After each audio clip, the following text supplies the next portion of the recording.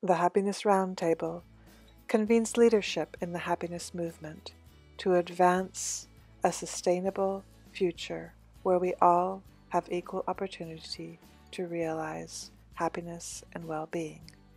Luis Gallardo speaks about happiness agoras. So let's talk about agora. That means uh, it's coming from Greek. It's basically a meeting point, a place to share. So um, over the last years, I've been developing festivals, summits, uh, forums, and now it's time for Agora. Um, what does it mean?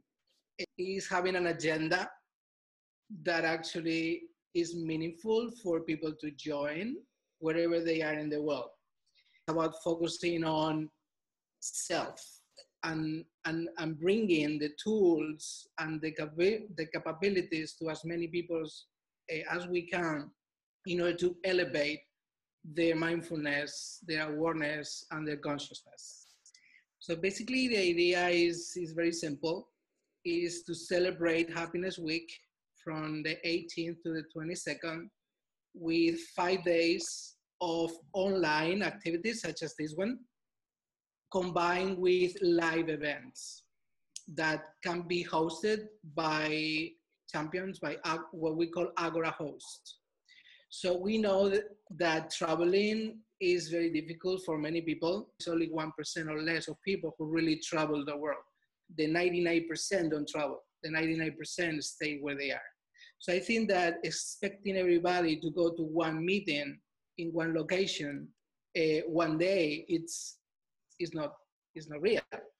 So in this case, the idea is that why don't we actually create, based on Ostrom's uh, Nobel economist a, a polycentric approach where actually everybody can really take accountability of creating their own events. So the only thing here we need is a framework, is an agenda, and technology that unites us. And right now we have it. We have Zoom and we have live streaming.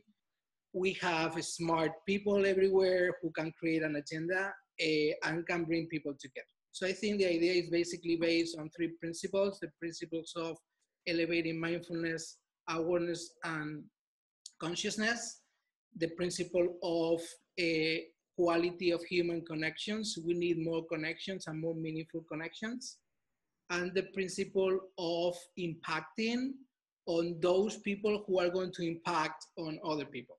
I'm so thrilled that we can have five days of content where we can target education professionals, health professionals, technology professionals, work environment, and social activism and, uh, and, and self-development.